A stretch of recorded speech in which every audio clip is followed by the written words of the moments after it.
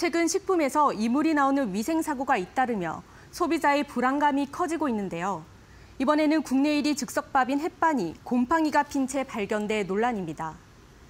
그러나 주무부처인 식약처는 곰팡이는 신고 대상 이물질이 아니란 이유로 뒷짐만 지고 있습니다. 문다혜 기자의 단독 보도입니다. 즉석밥 한쪽이 누렇게 썩어 있습니다. 국내 즉석밥 1위 CJ 제일제당의 햇반입니다. 자세히 들여다보면 안쪽은 전부 새까맣게 썩어 있는 데다가 밥알 모양은 끈적끈적하게 변형됐습니다. 지난 9월 소비자 A씨가 쿠팡의 로켓 배송을 통해 구매한 햇반으로 유통기한은 내년 6월. 소비자 A씨는 냄새를 맡아보자 쉰내가 강하게 났다며 불쾌했다고 설명했습니다. CJ제일제당이 제품을 수거해 분석한 결과 유통 과정 중 리드필름 파손으로 인한 공기 유입이 원인으로 드러났습니다. CJ 측은 햇반이 공기에 노출되면 금방 곰팡이가 핀다면서 다만 흔한 경우는 아니다고 설명했습니다. 문제는 곰팡이가 현행 식약처 기준의 보고 대상 이물이 아니라 재발 방지 대책을 세우기 어렵단 겁니다.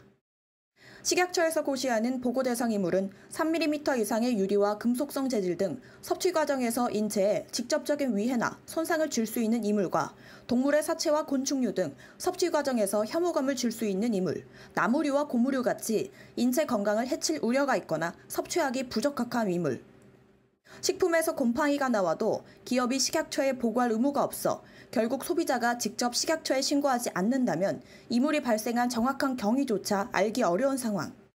제조사의 잘못인지 유통 과정의 잘못인지 원인을 알아야 재발 방지 대책을 수립할 테지만 원인조차 알기 어려워 또다시 이 같은 일이 발생할 수 있다는 겁니다. CJ 제일제당도 식약처에 신고하지 않은 상태로 일단 수거한 제품은 분석한 이후 폐기했으며 고객에게 동일 제품을 보내주는 것으로 마무리했다고 밝혔습니다.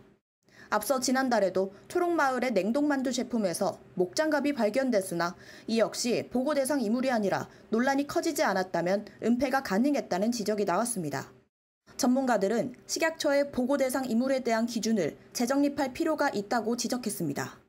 곰팡이도 의무보고 기준이 아니다 그러면 그건 분명히 문제가 있는 거고 왜냐면 먹지 못하는 거잖아요. 질병을 야기할 수도 있는 위험이 있는 거라서 그런 부분들을 좀 포괄적으로 다 포괄할 수 있는 그런 것들은 필요하다.